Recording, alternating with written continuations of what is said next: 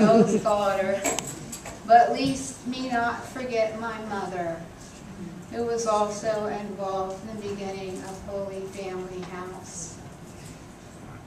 The first house that um, was purchased, I'm not sure what year, was a dilapidated, rundown house that we had to fight the county to fix up. Boy, did I learn plumbing, electrical work, you you name it, it needed done. Um, But we finally passed code and we moved our first family in. And what a miracle that was, to have that family move in there. So, Dad, being the person he was, was not satisfied with just one house. So we went to a um, upper class apartment building, and they said we could use three units there. So we put that on the ball. Well, the clientele did not like the fact that they had homeless people living with them. So we were kicked out of there. So, anyway, um, you know, Dad's phone just never stopped ringing, you know.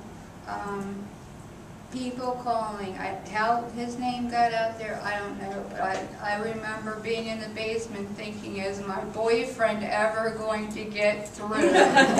You know? We need a second line, but anyway. Um, so Dad happened to um, work for C. Curtis Morgan, who at the time with the board owned um, Del Grove and Swan Meadows. And he went before the board and uh, told him his plight of the homeless, and there came Del Grove. So, and the Carises have carried on that legacy. Um, One of my, well, I'm gonna go over to Swan Meadows because now we're in Swan Meadows, which is wonderful.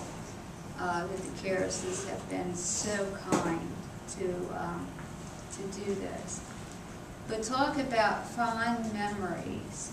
I tell you what, my dad knew so many people and made so many phone calls. We made trip after trip after trip after trip after trip, picking up furniture, bedding, whatever. I mean, I was his sidekick, along with my daughter who was four at the time. You know, it was the three of us and, you know, he just, um, Holy Family House to him I can't even put into words what it meant to him. You know, he grew up a poor farm boy who was fostered out, and um, he died knowing that he helped others. And that's all that really matters. So praise God.